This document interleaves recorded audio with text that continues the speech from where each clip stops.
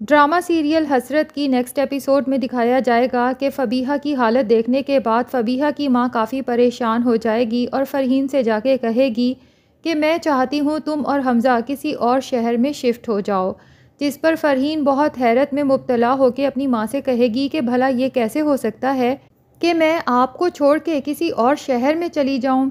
جس پر اس کی ماں کہتی ہے کہ میری اتنی فکر مت کرو، میری زندگی کے دن ہی کتنے باقی رہ گئے ہیں۔ میں صرف یہ چاہتی ہوں کہ تم حمزہ کے ساتھ خوش رہو۔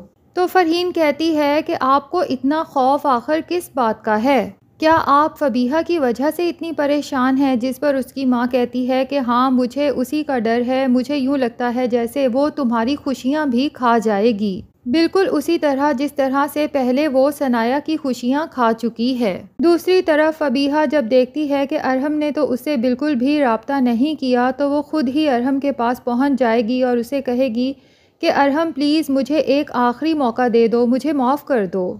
لیکن ارہم فبیحہ کو دیکھ کے کہتا ہے کہ تمہیں یہاں پر نہیں آنا چاہیے تھا، یہاں آ کے تم نے بہت بڑی غلطی کر دی ہے۔ لیکن فبیحہ بزد ہوتی ہے کہ میں کس طرح سے واپس چلی جاؤں۔ کیا آپ بھول گئے ہیں کہ آپ مجھ سے کس قدر محبت کرتے تھے اور اپنے اس ہونے والے بچے سے بھی؟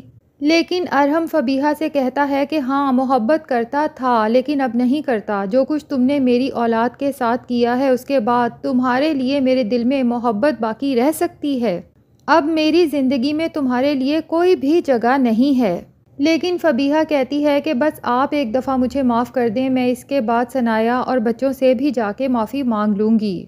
لیکن ارہم فبیحہ کو صاف طور پہ کہہ دیتا ہے کہ اب اس کی کوئی ضرورت نہیں ہے۔ دوسری طرف ثنایا کی بھابھی جب اسے سمجھاتی ہے کہ ثنایا ارہم بہت شرمندہ ہے، جو کچھ زیادتی اس نے تمہارے ساتھ اور بچوں کے ساتھ کی ہے، لیکن ثنایا کہتی ہے کہ اب اس شرمندگی کا بھلا مجھے کیا فائدہ ہے؟